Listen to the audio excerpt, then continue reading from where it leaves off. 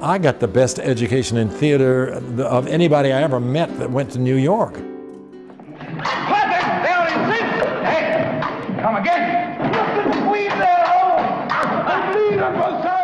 Sometimes we would be doing the Broadway show while it was still running on Broadway. Now that's that's extraordinary. That's why I was better prepared and didn't know it. I didn't know that I was that until I got in the middle of it and realized that I knew more than a lot of people who'd been in New York for years.